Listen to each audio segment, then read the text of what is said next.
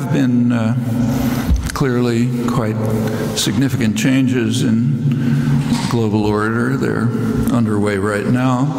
Uh, but before turning to them, I'd like to say just a word about the fact that uh, they may not continue for very long. Uh, there's an unfortunate reason. Uh, the reason you all know, I'm sure, uh, is that for the first time in human history, we are facing uh, realistic questions of uh, species survival, at least in any decent form. Uh, that concern is not new, but unfortunately, nothing much has been done about it. Uh, over half a century ago, uh, in July 1955, two of the greatest figures of the 20th century, Bertrand Russell and Albert Einstein, uh, issued an extraordinary appeal to the people of the world uh, to face a choice that, in their words, is stark and dreadful and inescapable. Shall we put an end to the human race, or shall mankind renounce war? Uh, Russell and Einstein were, of course, thinking of nuclear war. Uh, there have been many very close calls since. It's kind of a miracle that the species has survived this far. Uh, and they continue. In fact, even in recent weeks. If there's time, I may say something about them. Uh, and there's a companion threat, which they didn't realize at the time, but it's now understood. That's environmental disaster. Meeting in Bonn right now to that almost certainly will have no outcome that is supposed to deal with it. Uh, the uh, threat of environmental disaster was uh, highlighted by a report last week uh, from the International Energy Agency. The report was that uh, greenhouse gas emissions had increased by a record amount last year, despite the recession, and that the chances are now quite slim for holding global warming to a two degree Celsius level that's considered to be the threshold for really dangerous climate change, and we may have passed it. I'll return briefly to both of these matters, uh, merely noting that they cast a dark shadow over any discussion of global order. Well, let's put those grim prospects to the side and consider the evolving global order. Uh, one major theme uh, widely discussed is what's called American decline. It's real, but I think it's sometimes misinterpreted. It's commonly described as uh, another stage in a long term shift of global hegemony from east to west. Uh, crossing the Atlantic, then now moving across the Pacific to the rising powers, uh, China and India. And their recent growth is indeed spectacular, uh, but I think this is an error of interpretation. And though there is a significant global shift, I think it may be different than this one. Well, proceeding to approach that, let's look back briefly to the evolution of the contemporary global order, beginning with World War II, when it made a huge change. Uh, the changes and continuities since that time are uh, significant, uh, they're very real, and they're quite instructive. It's worth thinking about them. Uh, from the outset of the war in 1939, uh, Washington anticipated that the war would end uh, in, with the United States in a position of overwhelming power. Uh, there were high level meetings right through the war, 1939 to 1945, uh, high level government officials and uh, non governmental uh, foreign policy specialists. Uh, they met to lay out plans for the post war world. Uh, they delineated what they called a grand area that the U.S. was going to dominate.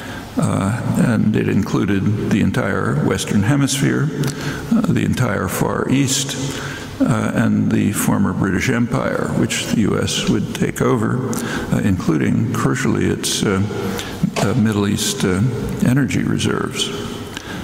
As Russia began to grind down the Nazi armies after Stalingrad, uh, grand area planning changed. The goals expanded uh, to include as much of Eurasia as possible, uh, at least its economic core in uh, Western Europe.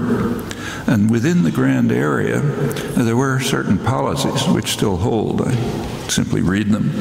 Within the grand area, the United States would maintain unquestioned power with military and economic supremacy, and it would ensure the limitation of any exercise of sovereignty by states that might interfere with its global designs. Uh, these are doctrines that still prevail, though the ability to Im impose them has declined. It's very clear from the documentary record that uh, President Roosevelt was aiming at United States hegemony in the post-war world. I'm quoting the accurate assessment by one of the leading diplomatic historians, British historian Geoffrey Warner, one of the major specialists on the topic. And much more significant, the uh, careful wartime plans were very soon implemented in thoughtfully and in great detail. Uh, and it's not surprising that the U.S. had those plans. At that time, the United States was in a position of historically unprecedented power. It had literally 50% of the world's wealth, had incomparable security, it controlled the Western Hemisphere, controlled both oceans, it controlled the opposite sides of both oceans. Uh, State Department planning, was largely in the hands of George Kennan, the head of the State Department planning staff, uh, it assigned to each region of the world what they called its function. Uh, in Latin America, uh, the function was to fulfill the Monroe Doctrine of 1823. The doctrine announced that the U.S. would dominate the hemisphere, but couldn't be implemented at the time. The British were much too powerful. But after uh, the Second World War, you could implement the Monroe Doctrine. That was uh, our little region over here, as the Secretary of War, Henry Stimson, explained, while demanding that all regional alliances be dismantled except for our own, which would be expanded. Uh, the function of Southeast Asia was to provide resources and raw materials to the former colonial masters. Uh, the United States had little interest in Africa at the time. So Kennan assigned Africa to Europe to exploit, it's his word, for Europe to exploit for its reconstruction. You could imagine a different relation between Europe and Africa in the light of history, but that wasn't considered. Uh, as for Europe itself, it was to be reconstituted, but in a very specific way. It was to be reconstituted only after labor and the left were uh, suppressed. That's the core of the anti-fascist resistance, of course.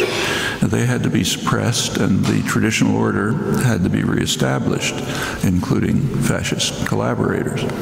Uh, that sometimes requ required considerable violence and large-scale subversion continued for many years. In Italy, it continued well into the 1970s. Uh, for Germany, uh, it was necessary, I'm quoting, to veto uh, uh, the major union constitutions, to forcefully terminate social experiments, to bar early co-determination efforts, and more generally to wall off the Western zone from the East that was Kennan's interesting phrase. Uh, planners were concerned that they would not be able to compete with social and economic uh, uh pressures coming from the east, so therefore Western Germany had to be walled off. Uh, that meant left labor influences, and they were very explicit about it. Uh, then later came the Marshall Plan, which uh, doubtless uh, aided European reconstruction, but it had other goals as well. Uh, in reality, the Marshall Plan, if you look at what happened, it was very largely a taxpayer subsidy, U.S. taxpayer subsidy to U.S. businesses. Uh, most of the money never left the United States. And that's appreciated by the uh, beneficiaries in the United States, the domestic beneficiaries. So Ronald Reagan's uh, Commerce Department pointed out that, in their words, the Marshall Plan set the stage for large amounts of private U.S. direct investment in Europe, uh, laying the groundwork for the rise of multinational corporations at that time, almost all American. Uh, Business Week, the main business journal, described multinational corporations as the economic expression of the political framework expressed by, established by post-war policymakers in which American business prospered and expanded on overseas orders, fueled initially by the dollars of the Marshall Plan and protected from negative developments by the umbrella of American power. That's 1975. Uh, it was always recognized that uh, Europe might choose to follow an independent course, perhaps along Gaullist lines. And uh, NATO was partially intended to counter that threat. And that was seen very clearly in, uh, when the, in 1989, 1990, when the official pretext for NATO dissolved official pretext. NATO's there to protect Western Europe from the Russian hordes. No more Russian hordes. Uh, anyone who believed the propaganda of the preceding years should have expected that NATO would dissolve. Uh, on the contrary, it was expanded to the east in violation of very explicit pledges, but only verbal pledges to Gorbachev who was pretty upset when they were violated, but the Washington pointed out to him that the pledges weren't on paper, and if he was stupid enough to accept a gentleman's agreement, that's his problem. Uh, so, in violation of the pledges, expanded to the east, and since then it's been expanded well beyond. It's now a uh, officially a U.S.-run global intervention force. Its official task is controlling the crucial infrastructure of the global energy system, uh, pipelines, sea lanes, and so on. Uh, nevertheless, uh, what's called American declinism set in very quickly. The Grand Area began to unravel very seriously by 1947 uh, with what's called the loss of China, uh, which is an interesting term. It's the term constantly used debates about who's responsible for the loss of China. And the phrase is worth thinking about. Uh, you can only lose what you possess and legitimate ownership of uh, the world is just taken for granted. Uh, it's not surprisingly given, given the scale of U.S. power. Uh, Southeast Asia began to go the same way, first in Indochina, but much more seriously in Indonesia, much more valuable prize. Uh, in 1958, President Eisenhower carried out the largest intervention uh, in post in, since World War II. Uh, the goal was to support a military revolt, uh, overthrowing the government. The idea was to split off the outer islands. That's where most of the rich resources are. That failed, but in 1965, there was a US backed military coup in uh, Indonesia, which uh, installed the dictatorship of General Suharto. Uh, it carried it out with a staggering bloodbath that was a gleam of light in Asia, in the words of the New York Times. Uh, hundreds of thousands of people were slaughtered, mostly landless peasants, and the country was thrown open to Western exploitation. Euphoria in the West was virtually unconstrained. Uh, years later, uh, McGeorge Bundy, who was the national security advisor for Presidents Kennedy and Johnson, he reflected uh, in retrospect that the United States should probably have called off the Vietnam War in 1965, since the major objective had been achieved. Uh, the major objective we know from declassified documents was to prevent what's called the virus of independent nationalism from spreading contagion to the rest of the region, uh, possibly even Japan. It's called the super domino by the eminent Asia historian John Dower. Uh, the fear of contagion from uh, the virus of independent nationalism. That's the terminology later of Henry Kissinger, Nixon administration. That's a leading theme of post-war history, one of the major themes, in fact.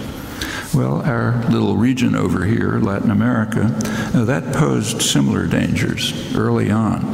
In 1954, uh, the United States overthrew the first democratic government in Guatemala, installed a brutal dictatorship that carried out uh, horrendous crimes, uh, ultimately a virtual genocide of the Mayans and the highlands, still fleeing to the United States, all with the strong support of the Reagan administration.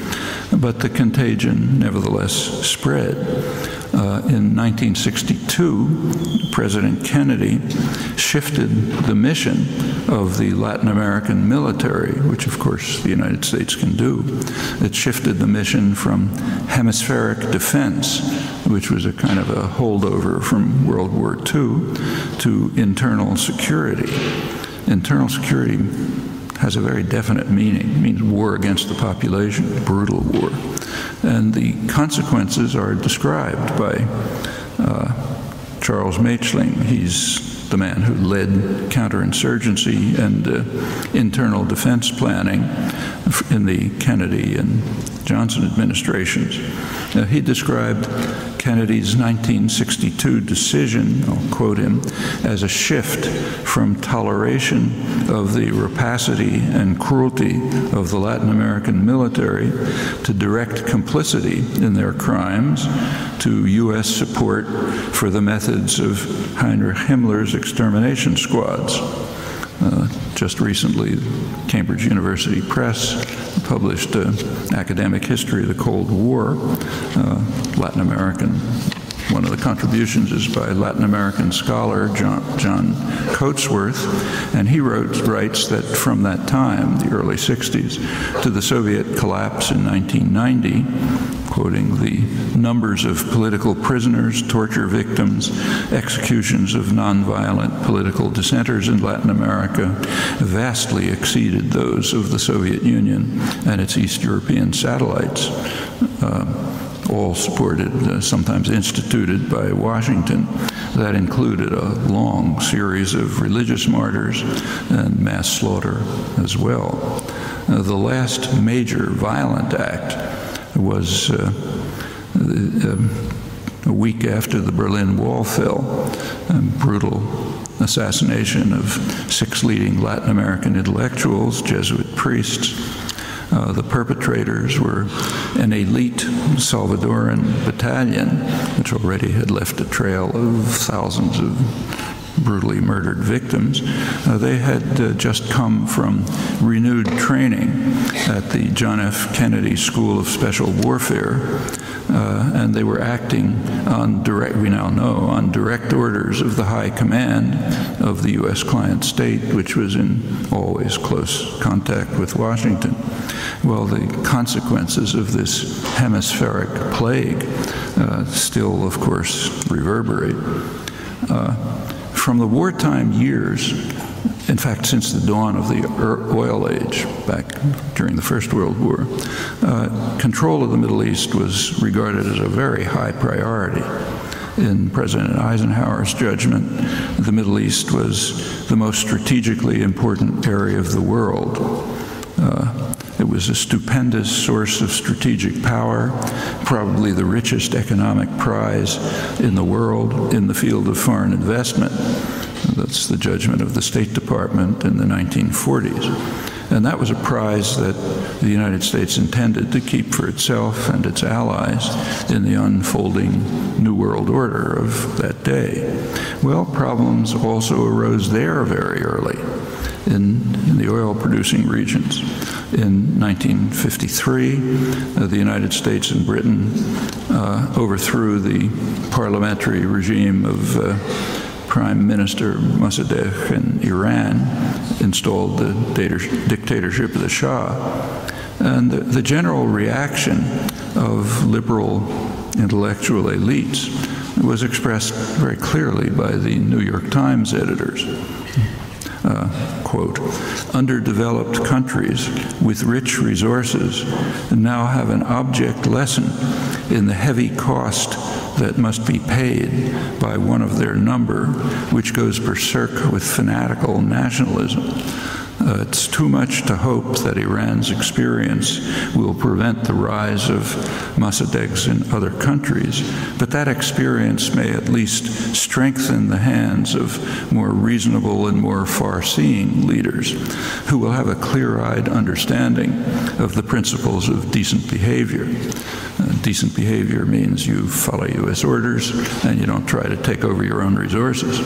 Uh, that's the liberal progressive end of the spectrum. Go to the right, gets harsher. Uh, consequences of that are too well known to review. Well, that's the merest sketch of uh, implementation of grand area policies in what's called the Global South. The preferred version of the post war era, era is quite different. It's actually expressed quite well by the lead article in the current issue of uh, Britain's prime foreign policy journal, International Affairs. It discusses, I'll quote it, the visionary international order of the second half of the 20th century, marked by the universalization of an American vision of commercial prosperity. Well, there's something to that account, but it does not quite convey the perception of those who are at the wrong end of the guns. Uh, and that's typical of Western ideological pronouncements called scholarship and journalism and so on. Uh, grand area doctrine restricts the sovereignty of others, but it grants the United States unrestricted rights. Among these is the right to carry out unilateral military intervention at will. And that doctrine has repeatedly been articulated, for example, by the Clinton administration.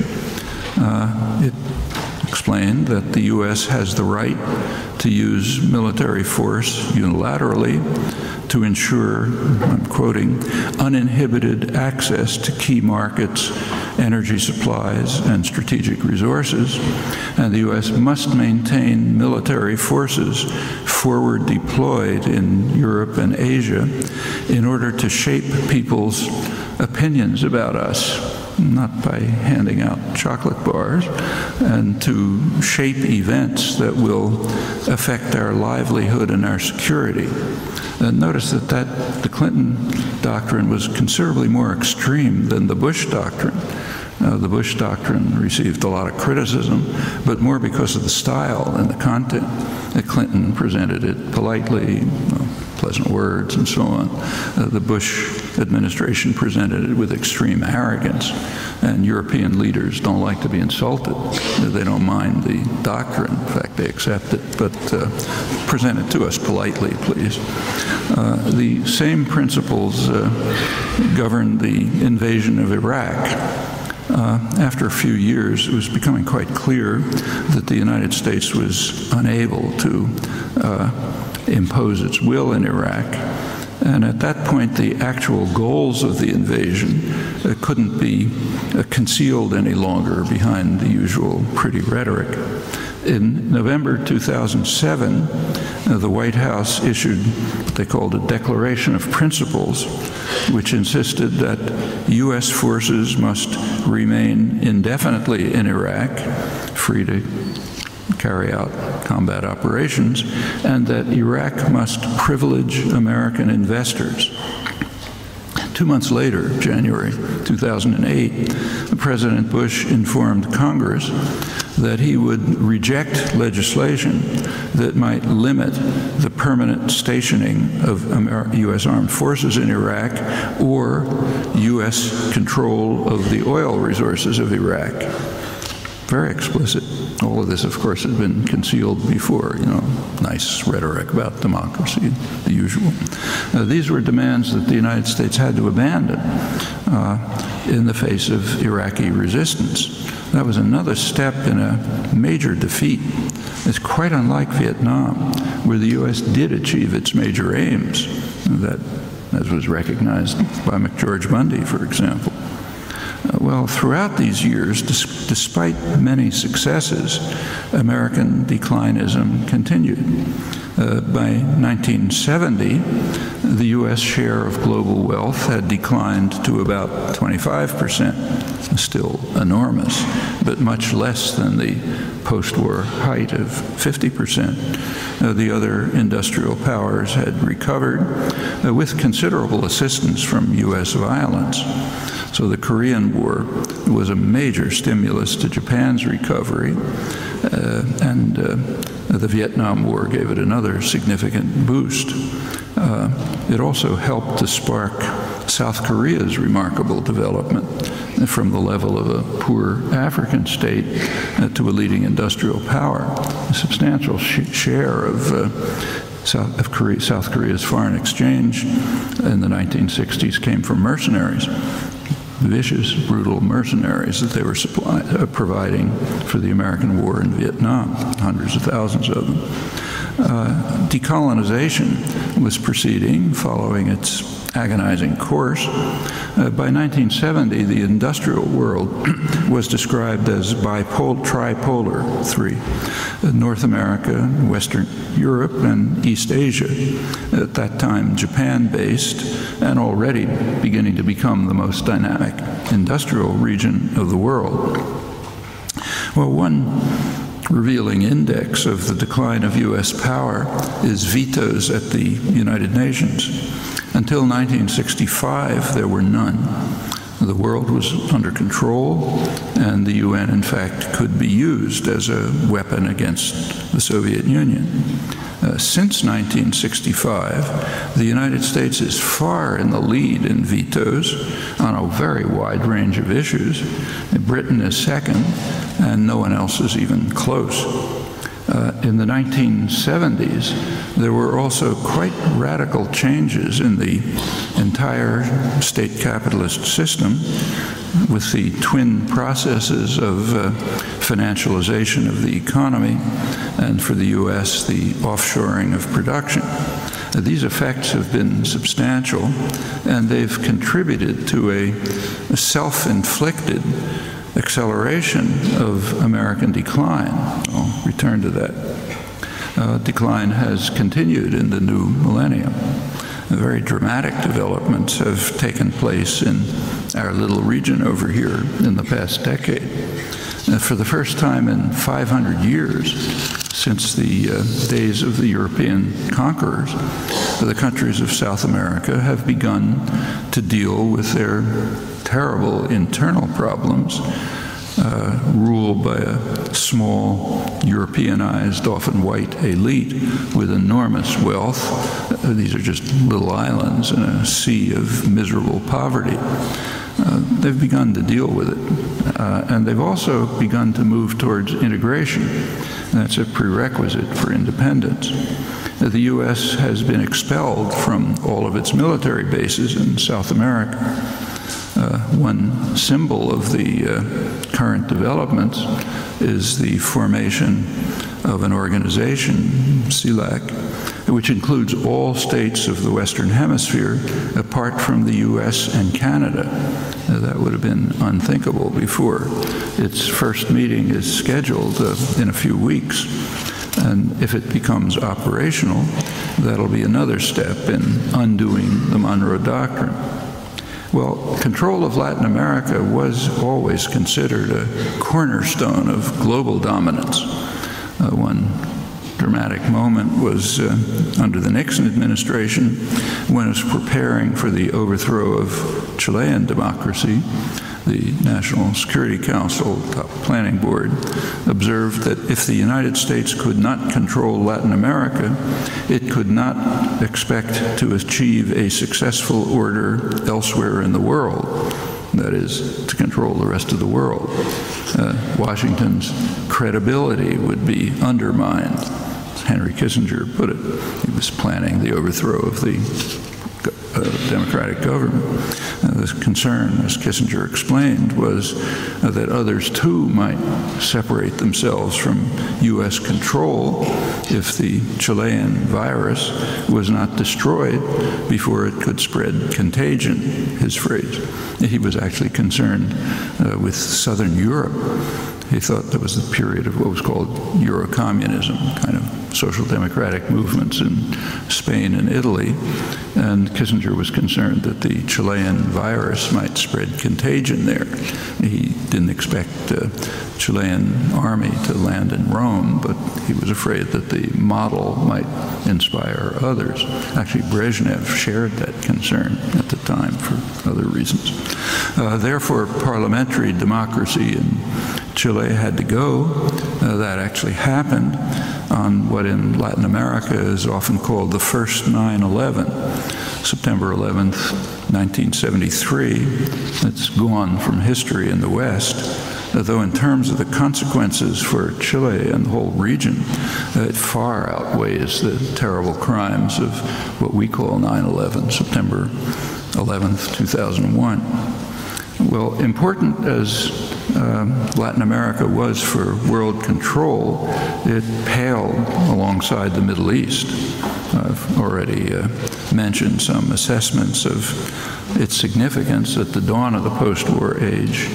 Uh, despite all the changes since, there's every reason to suppose that today's policymakers basically adhere to the judgment of very influential Roosevelt advisor, uh, A. Berle, who observed that control of the incomparable energy reserves of the Middle East would yield substantial control of the world. And correspondingly, uh, notice that that doesn't mean access to the resources. In fact, they didn't much care about that. It's control, very different matter. Uh, correspondingly, the loss of that control would threaten the project of global dominance that was very clearly articulated during World War II and has been sustained in the face of major changes in world order ever since that day. But that's being threatened too. Right now, U.S. dominance in, um, in that region is under severe threat. That's the Arab Spring. Uh, the Arab world is beginning to move in the same direction as Latin America in the uh, past decade. Uh, that's the democratic uprising of the Arab Spring.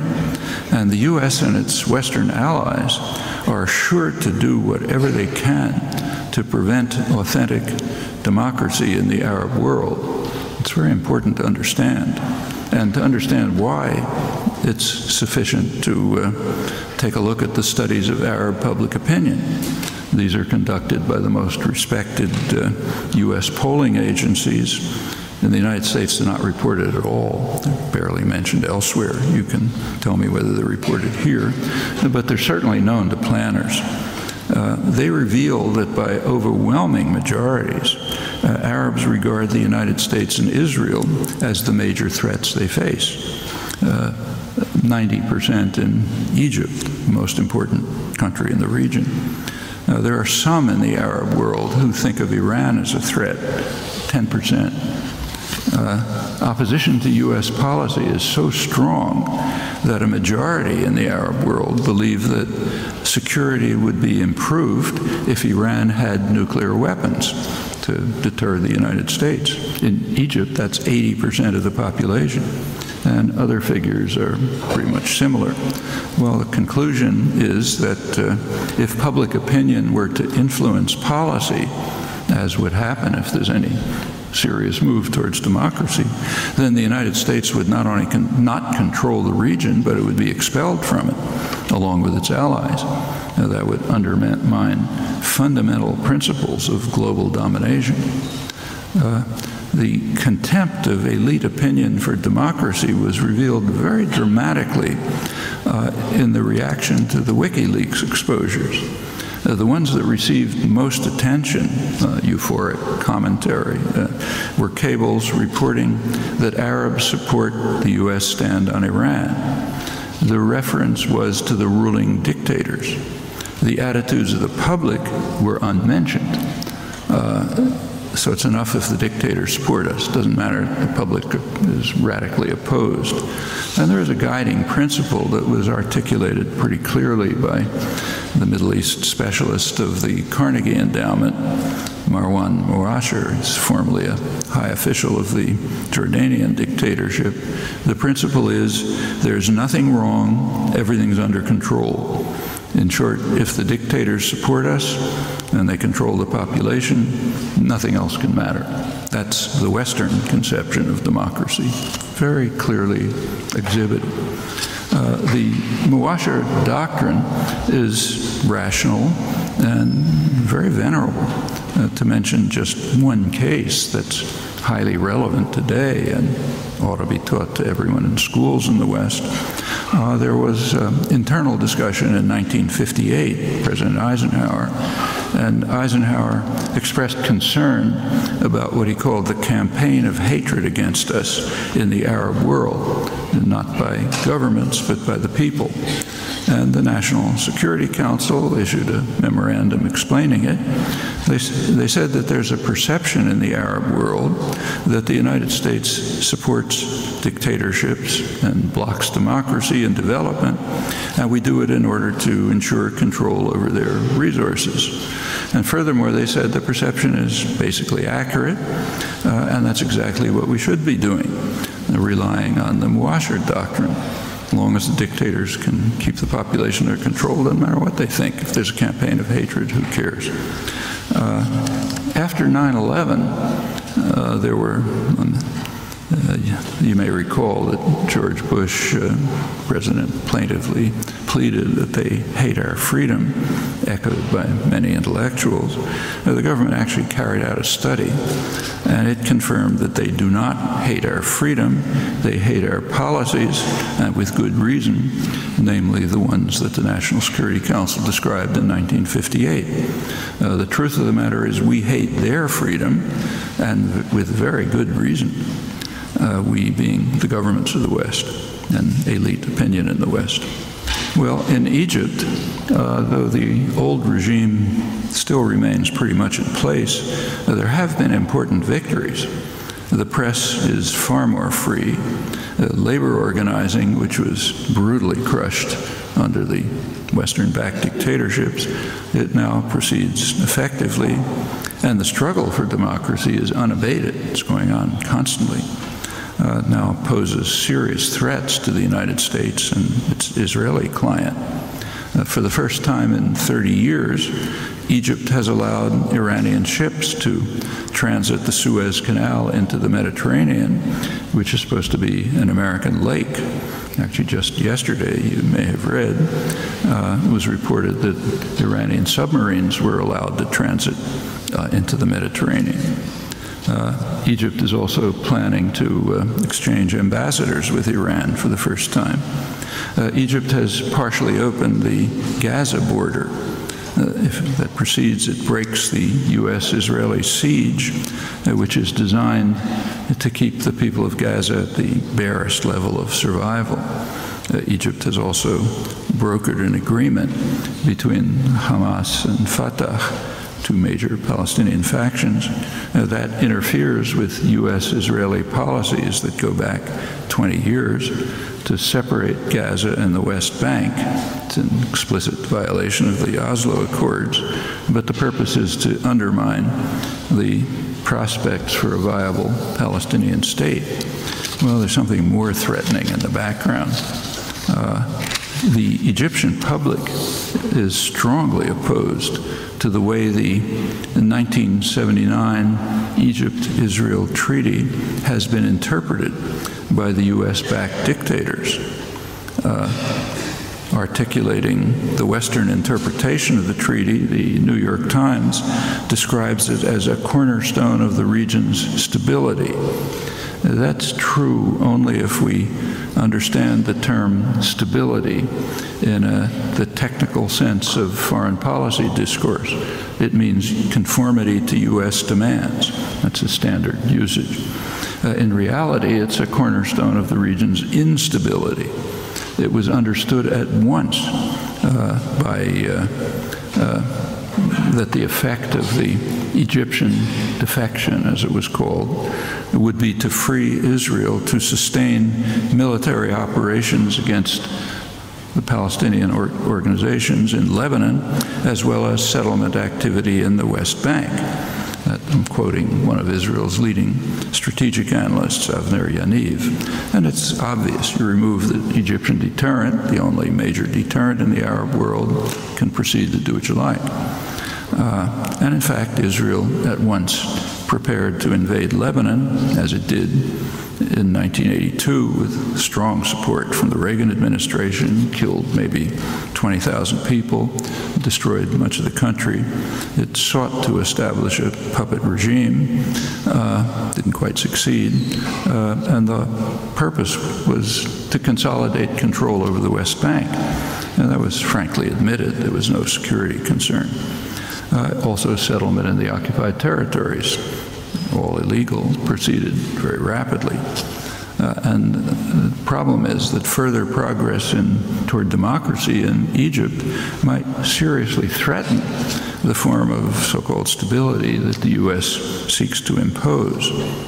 Well, as I mentioned, Arab public opinion strongly supports an Iranian nuclear weapons program, but that doesn't mean that we should do so. It could be extremely dangerous. And if you read the foreign policy literature or even the press, it's full of proposals as to how to deal with this potential threat. Uh, one proposal is studiously ignored, the one that's very strongly favored by most of the world namely, establish a nuclear weapons free zone in the Middle East. Now, that issue regularly arises at the uh, uh, regular meetings, the conferences of the Non-Proliferation Treaty Conference every five years. Last one was at the UN headquarters in New York last year. Uh, at that point, Egypt was the chair of the 118 nations of the non-aligned movement. Most of the world. Uh, they proposed that the conference call for negotiations on a Middle East nuclear weapons free zone. Now, that had been formally agreed by the West, including the United States, at the 1995 review conference, but didn't do anything about it. Well, international support last year was so overwhelming that the Obama administration formally had to agree uh, while saying, fine idea, but not now. Uh, furthermore, they insisted that Israel be exempted. And of course, the U.S. is uh, self exempted from international obligations in quite interesting ways, which are not well understood. Uh, Washington informed the conference uh, that no proposal quoting it now.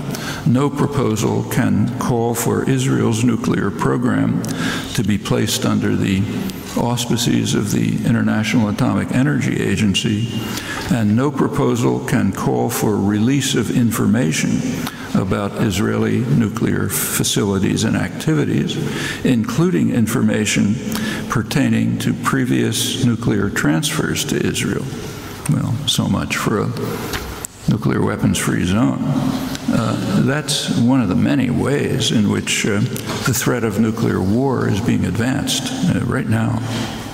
It's worth bearing in mind how isolated the United States and its allies are on Iran. Uh, the non aligned countries, again, most of the world, uh, for years they've been vigorously endorsing Iran's right to pursue uranium enrichment. Uh, the Arab world, as I mentioned, even wants them to go on to nuclear weapons. The most important country in the region, Turkey, is improving commercial relations with Iran, a very natural trading partner, and it's announced, announced plans to triple its relations. The most respected country of the global south, Brazil, has also strongly supported Iran's position. That's most of the world. Well, uh, the United States can tolerate uh, Turkish and Brazilian disobedience, though with dismay. Uh, but China is harder to ignore. Uh, the press warns, I'm quoting the New York Times, that China's investors and traders are now filling a vacuum in Iran as businesses from other countries, especially in Europe, pull out. The Europe is obedient to U.S. orders, but China isn't. These sanctions have absolutely no status. Those are unilateral U.S. sanctions. Uh, China does observe the UN sanctions, but that's because they're toothless. Uh, the issue has to do with the unilateral U.S. sanctions. Uh, in particular, China is expanding its uh, dominant role in Iran's energy industry. Well, Washington is very upset, and they're reacting with a touch of desperation the State Department issued a warning to China that if it wants to be accepted in the international community, that's another technical term like stability. The international community means the United States and anybody who happens to be going along with it at the moment. Uh, so if they want to be accepted in the international community, uh, then China must not skirt and evade international responsibilities, which are clear, namely follow U.S. orders. Uh, as I said, China does accept the relatively toothless UN sanctions, but it ignores the unilateral U.S. sanctions. It's therefore undermining stability in the technical sense. It's an illegitimate exercise of sovereignty in violation of grand area principles. I need not say that China's quite unimpressed by the stern warning. You know, their picture is uh, we've been around for 3,000 years, uh, disregarding the barbarians, and we'll continue. Uh, and, and that's very disturbing to the United States. Well, the hegemonic doctrines that were formulated during World War II, they still prevail, but the cap capacity to implement them is declining uh, as the world is becoming more diverse, more independent. But there are also, as I mentioned, there are domestic factors contributing to America's decline. The society is being quite consciously undermined at home by the people who Adam Smith called the masters of mankind, those who control the economic system. No time to go into the details, but since the, uh, sharp economic shift towards financialization and offshoring of production in the 1970s, uh, a variety of factors have converged to create a vicious cycle of radical concentration of wealth, uh, mostly in the top 1%, one tenth of 1% actually, uh, of the population, such a small group, it's not even picked up by census figures. Now that's where the heavy inequality, extreme inequality is coming from. Know, that means uh, CEOs, you know, directors of corporations, uh, hedge fund managers, and so on. Uh, their activities are of little, if any, benefit to the economy. Probably harmful to it. Uh, uh, but that's where the economic power is concentrated. And concentration of economic power translates at once to concentration of political power. It's another point emphasized by that dangerous radical Adam Smith, who we're supposed to worship but not read, too dangerous to read him. Uh, he pointed out that uh, in his day, speaking of England, the merchants and manufacturers were the masters of mankind, and they were also the principal architects of policy they made sure that their own interests were very well served, no matter how grievous the effect on others, including the people of England. Well, that was the 1770s, and that principle remains. Uh, the concentration of uh, economic and with it political power has led to state policies that are designed to increase the concentration. Uh, fiscal policies, uh, rules of corporate governance, deregulation, uh, a lot more. Uh, meanwhile, the costs of electoral campaigns have skyrocketed. That has a very clear effect. It drives both political parties uh, deeper into the pockets of concentrated capital, increasingly financial capital. And for the Republicans, this is reflexive.